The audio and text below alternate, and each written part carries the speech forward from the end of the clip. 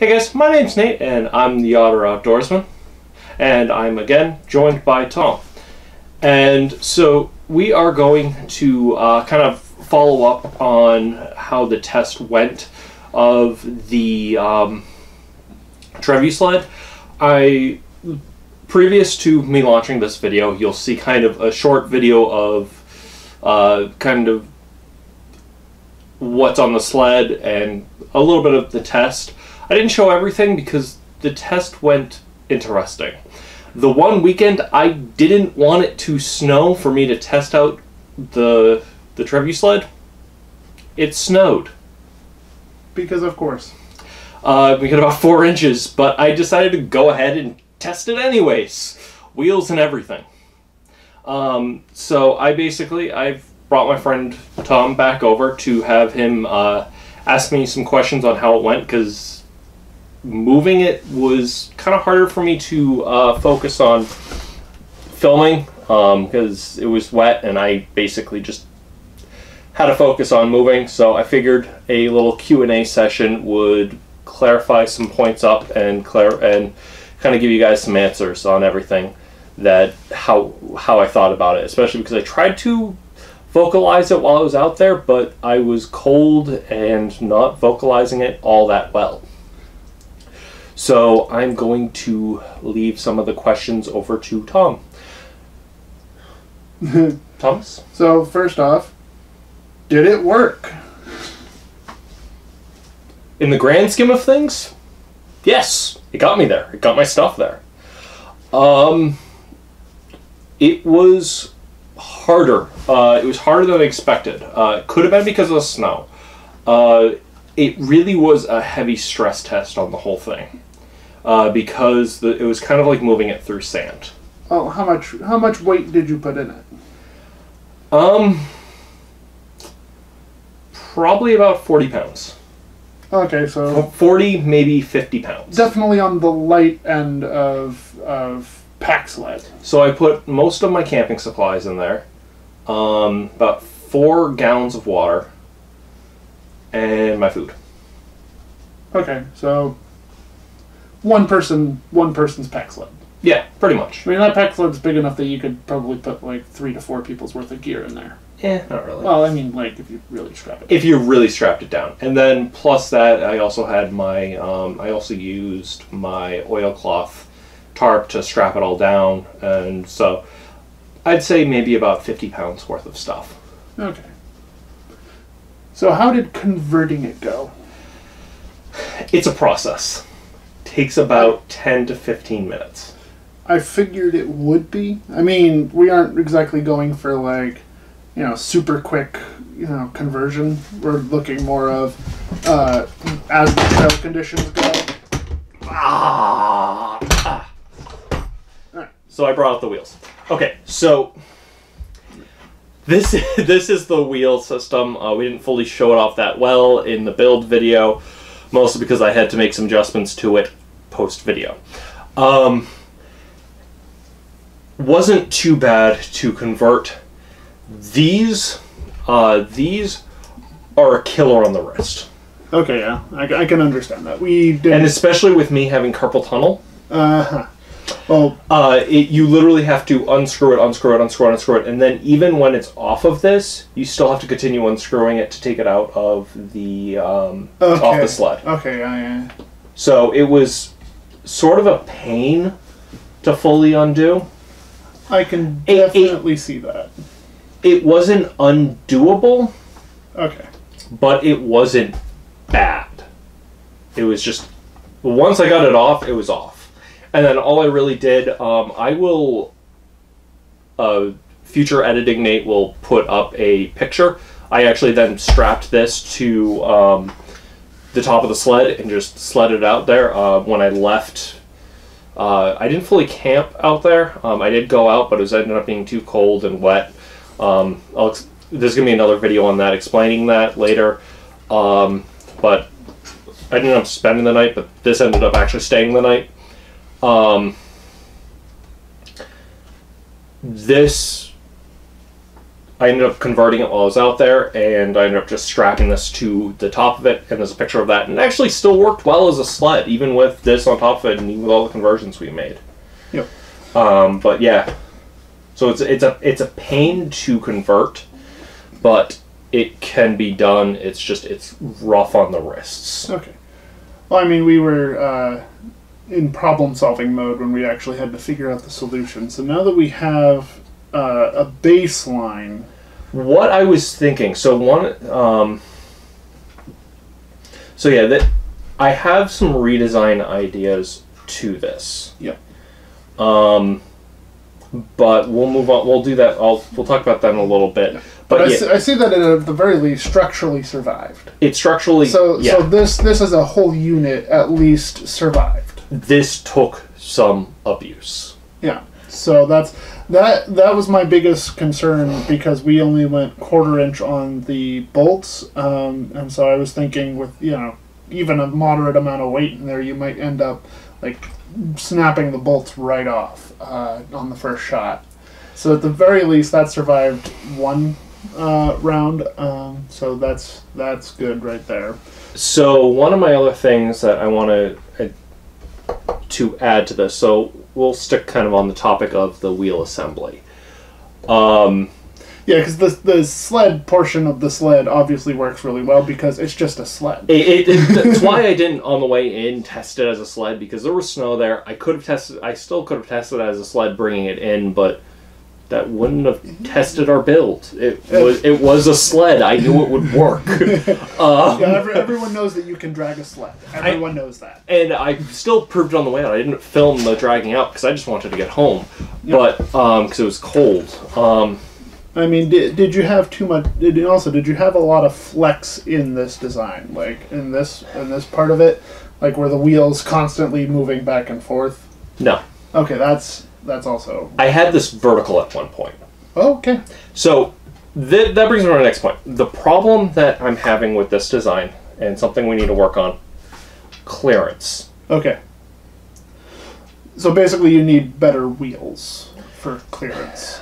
Not so much I need wheels, it's we need to streamline this design. Yep. Some people in the comments, um, I, I did, we did, we both actually read a lot of the comments of that people had um, on both the build and the design portion of it, and we we are considering a lot of the comments, and we we are taking it's like with This- future this- designs. This this was this was basically a design in which we're like, well, we need it to do a job, and we know that we can do it this way. And then basically after that baseline design is done with, we can then improve all the failure points and because Move on to the Mach two. Uh, because the hardest part of doing any design is just you know doing it just Yeah. get a get a thing out there that you can improve upon And before I even posted both of those videos, this project was basically done. Yep. Um, so I wanted to build. So I basically we're we both looked at those. We're both considering a lot of those de- those designs, um, and a lot of the feedback for when we do what I'm calling the Mach two. Because I was like calling things Mach one, Mach two when it comes to things when we, when we do builds like these. And one of the things that some people saying were, um, one person mentioned, I'm, I'm blanking on who said it, just because it's been a while since I read the comments, uh, was saying a wheelbarrow. I'm not big on wheelbarrows, stability wise. I'm a klutz. But that doesn't mean I don't like the idea of underset wheels. Yep. And the other thing is, I was thinking is, which we were talking before, some people were saying it was putting the wheels on a hinge yeah the with some form we, of clamp. we we had thought of a hinged design before we had gone with this one And even before we even drew it, I think. yeah yeah we, we had discussed it and the reason why we didn't go with that for the first design at the very least Resources, time. was resources, time, and sh- uh, I don't have my shop space set up. So most of most of the things that we would have to do uh, to get this thing in a in a portion where it would be able to survive being hinged up and hinged down and be clamped in place and so on and so forth. Would have required a little bit more than just Nate's apartment. I think we, if we get a hinge design set up, though, I think we can still retrofit it onto our current, onto the current Trevi sled. Yes, We, won't. We, definitely won't. Have, we won't have to redo the entire setup, which we were worried about with future builds. Yes, we, we were we were worried about having to you know if we were going to redesign it that it would uh, require buying a whole new sled and just you know doing all that. We can which, which isn't cheap. Like 'cause these these projects, a lot of these DIY DIY projects aren't cheap, and most of them I'm I'm either funding uh, as mostly funding out of my pocket. yeah, and you know it's it's probably cheaper than buying a specifically designed and manufactured piece of equipment uh, to DIY it, but at the same time we're also you know DIYing on a shoestring, so. Yeah, but anyways, so one of the th- things I had with the with the wheel assembly was just it the clearance. It was tough to get through trees. Okay, yeah. Um, I could I can see that. There were points where I had to figure out clearance. Um, there was one point where I actually had to renegotiate because I had to, I had to get through a, th- a thick bit of water. Um, Well, part of part of the clearance I think is also that we went with uh, we went with fairly fairly large wheels. They were the largest available for what we had. Um, but the way that we had to mount them that we bolted them. was that we bolted them onto the vertical member rather than being attached underneath on an axle.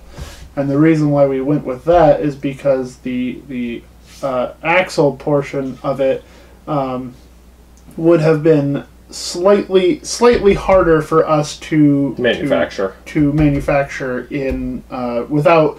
Well, we could have bought we could have possibly bought through rod, but at, the time it seemed like a better idea to just bolt it onto the side. So we could increase the clearance by quite a bit just by mounting the the center of the wheel underneath the panel. Yeah, which I mean, it can come in a, in a future iteration. Well, well, it, it's going to take some design. I mean, a lot. Sometimes also with these designs, you won't see it in the the, the planning video because there were a lot of points where we were also just messaging each other back and forth. Yeah, yeah. We we, we were definitely discussing this design for for days before we actually went with what we went with, because we also had to take into consideration the limited shop space, the limited ability to to. We had to use only hand power tools. We couldn't use my you know table saw. We couldn't use my lathe. We couldn't use any of my power tools. We couldn't use uh, anything like that to to get this where we actually wanted it to go. Yeah, pretty much. But anyways, so anyway, but yeah, so that's pretty much that was the other portion of this was clearance. Yep. Uh, and I mean, to, you know, the conversion part of it, I think, uh, so long as it was able to be converted, I think is already a win. That definitely is a that is definitely a good point. Was it it one that it could be converted.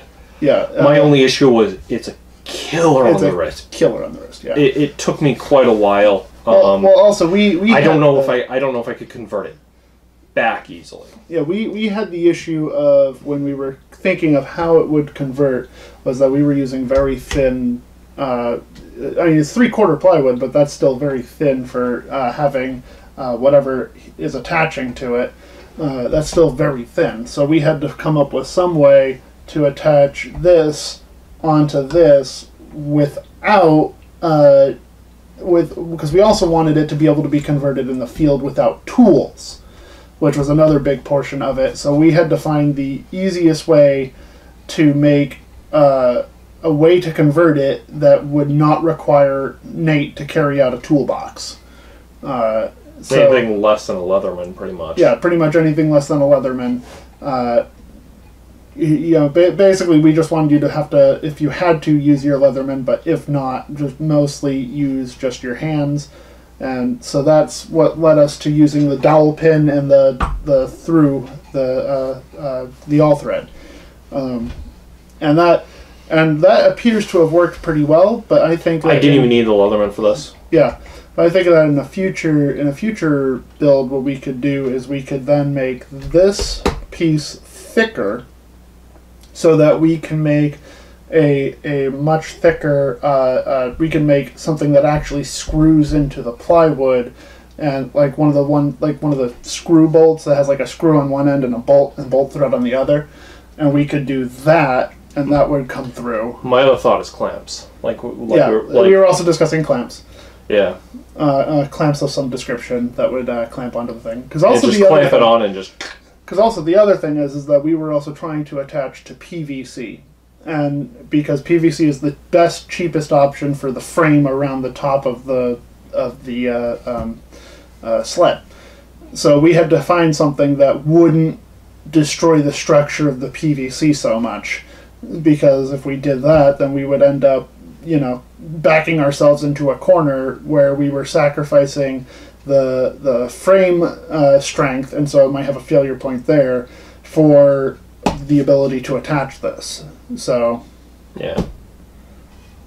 that's that's what we ran in. That's what we ran into for a design issue.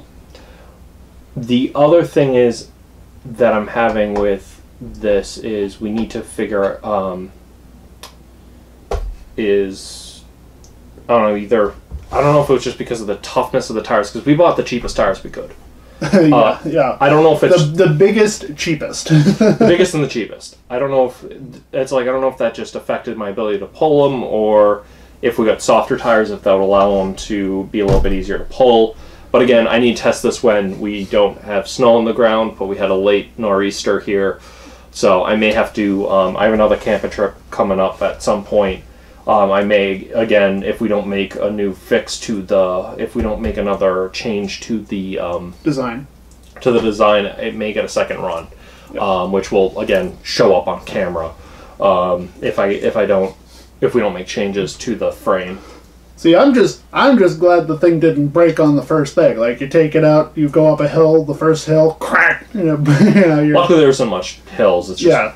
You know, so so also also one of the other things is, that I was also worried about um, the stability of instead of having an axle going all the way through, bolting it to the side. Because the problem I had with bolting it to the side was that then you end up with the wheels being able to independently flex up and down. but that actually gave it a little bit of um, that helped it Yeah, so because it because it's not even terrain that gave it the ability to change and, and that Yeah. would have that would have flexed uh, that would have flexed a full axle. yeah, So that kind of gave it something similar to four wheel drive.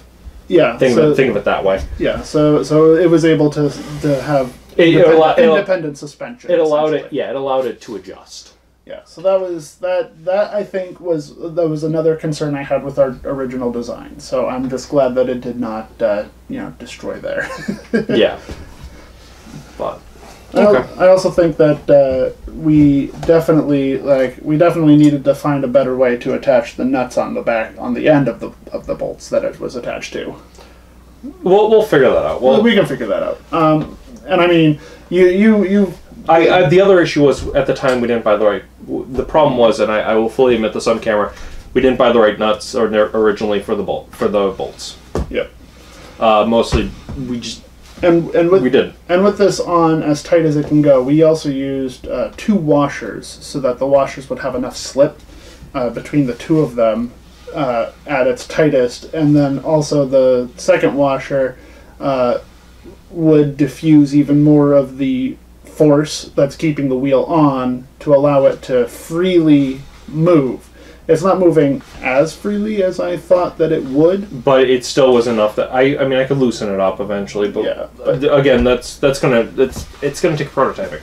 The, this is active prototyping on our part. Yeah. That, that's DI. That's DIY in a nutshell. That's when you you don't have when you don't have something when you don't have something easily accessible. When you build something. Yeah, and that's half the fun. and and and more importantly is that when you DIY something like this and you have to come up with your own design, you have to be willing to just try it. Just get out and try it and then if it doesn't work, you have to be willing to scrap whatever idea was not working and create a new one and you will have to spend a little bit more money doing that sometimes, but you have to, you know, own it. You really just you have to own it and not just go on with a uh, crappy design uh, just because you sunk a little bit of money into it. You have to be willing to change it if it doesn't work. Um, and that's another key part of DIY. Um, because you know sometimes sometimes it's not going to always do what you want because of the way you designed it. So you have to to find the goal you want, and you have to be willing to change it. Yeah, pretty much. But anyways. But so long as it worked, I mean that's that's the main thing. Yeah. um, Any other things you want to say about it? so one of the other things I want to add with it is um, we need a better, um, not a. We need a way of attaching it to my body or a way of pulling it. So the way we currently have it is the two poles that get pulled into it. I just pick up and I pull or push. It depends. I found both ways worked at different times depending on my energy level. Because of the weight I had in there, it worked like a. It kind of worked like a wheelbarrow, just a two. But it was. I don't know if it's because I'm out of shape, or if it's just because of the weight and because the fulcrum point was so far down because it needed to be but it was just it was heavier than carrying it out in the first place Oh, okay. um it, it was like trying to pick up all that weight and drag it pretty much Yep. um so i had to take frequent breaks um again it could have also been be- again because of the snow but it was something i noticed which was i'm trying to lift up that weight Yeah. so one of the other things that I've noticed, and some of the people commented, is possibly building a frame pack and attaching it to that. That's Um, that's definitely a possibility. Um, That would have to be a separate project on its own. We'd have to wait for your for your uh, uh, for your uh, workshop, or even I could try and build that in here, or even buy a frame pack and try and retrofit it. yeah, you, you, you could just get a, a frame pack that's able to be detached and just take the frame off and attach it on. yeah, but Because yes, I mean, the, the, the other thing is is that if you have if you have it so that you are lifting it up with your hands, then your hands are tied. You're just you, they're both being used to pick up this thing. And if you have it on your back, then suddenly you have your hands free for both balance and navigation, and like navigating and you know getting around. But then also, you know, you've got your hands free to, know, and the weight's also no longer on my arms and my shoulders. yeah, it's on your It's, on, on my hips, yeah, it's which my hips. legs are then going to be more apt to handle that weight because your legs are built for that type of weight. Yeah. Um, so having it there and having it further down would be better, especially if I could build it so my it disperses on my body a lot better. 'cause I don't have the best back. Um, Yeah, and and that's and that's another reason why you would get a pack sled to begin with is you don't want the weight on your your back, you want it on your legs. where this project originated, also where this project originated, because I have a horror. I have um, I have, Back I, have issues. I have back issues. So this is partially where this is coming from, is to be able to allow me to carry out gear and not worry about my back. Um, so yeah, that was one of the other issues that I noticed. Um, so one of the other things I know I knew you want to know about was uh, failure points. Yeah, So the T squares that we used in the front, yeah, under high stress, pop out. okay, So we attached those to friction. We didn't use any PVC glue. We just attached them under friction, um, and we bolted the. Uh, we have a detachable bolt with the for the poles to bolt those into. Um, under high stress, it could have been the cold, yeah. It could have been the cold too. but I don't want. You know, You don't we- want that, that we don't popping want out. we don't want those popping out even in the cold because it could be cold while I'm using it. Uh, because part of the conversion thing I want to be able to use with it is is even if I'm sledding with it when I get to say a parking lot and the parking lot's been shoveled, uh, which was when I was sledding it out on a camping trip. I'd like to be able to then convert it back to the wheels and just wheel it to my car. Yeah. Well, well, also you know, certain certain parts of a trail might have different levels of snowfall. So- Exactly. So, So, the, you, you might end up with like ground where it, if you pulling it over the ground, it's a lot higher friction than the snow, and you don't want that. and that does happen. Uh, that I've run into issues where that where it's complete snow, complete snow, complete snow. No snow. And that's where I partially also want this so I can then quickly convert it and continue on. And then convert it back. And that's where a 15 minute conversion time on this portion isn't really the best. It's not really ideal. Yeah, we definitely needed a, uh, a, a, flip design for it to be that quick. But I mean, we we also uh, uh, we also had the idea of having it hinge back and like on the back of it and hinge up, but that again would have taken more resources than we had available to us here. Yeah, well, again, it's going to take some time. Um, because it also has to be stable. The, the the problem I've always had with hinge design of anything is that the hinge is supposed to have a little bit of slack in it. It's supposed to be a little bit uh, um, uh, a little bit of give because you know it's supposed to open a door and it's also supposed to you know keep opening in you know humid and so on. You know you don't want it to be you don't want a hinge to be getting stuck. So it always has a little bit of give in it. So then you know it can deal with all the time that it's being used. So that's my problem with hinge designs is you'll always end up with a with two hinges, it pops down, and if you have no way to secure it easily, then all of a sudden you have something that's rickety and it's you know constantly moving back and forth. yeah, so that's what that's partially where we're trying to figure it out. Um, but so part of the PVC, yeah, that, that's what basically we're saying. And I actually had to occasionally just the problem with it popping out was because problem with popping it out was it, it would it was so tight it would pop out and go slightly off. Yep. So then I'd have to force it back into place, and once I got it popped into p- place, I'd actually have to kick the um, the handhold to pop it back to pop yep. it back in Yeah. to hammer it back in because yeah and the, the problem with having to do that it all constantly drop in with that weight it ended up causing me to get wet in the snow when i really should have just dropped off the wheels pulled the handles out put it back in and just sledded it the rest of the way uh, which would have made my trip a lot nicer but again there'll be a video out on that um, Well, now we know. Yeah, now we know. Um, nevertheless, the um, having those carabiners on there really made it nice. Those made a big improvement to the sled. Um, that actually allowed me to have the sled vertical because there were some points where I actually had to get it through some tight spots that I couldn't get it through. So I had it vertical, turned it around, and just dropped it. Um, so having it on there allowed me to turn it vertical and my stuff didn't fall. Um, and that was very useful. Yeah. So even if you want to modify your sled, just put simple carabiners on it. Just drill it and just do that. That would make Already life changing. it makes it super easy. You don't have to do the huge project we're doing, but put carabiners on your sled. But Yeah, you can just do that with uh, uh, eye bolts and And eye, bol- eye bolts and uh, washers just underneath the underneath the lip of the sled. Um, everyone who saw it was like, "That's a fantastic idea." Everyone really liked my project. Um, but, anyways, so if you guys have any questions on the project, we we can do another follow up video. We can answer your questions.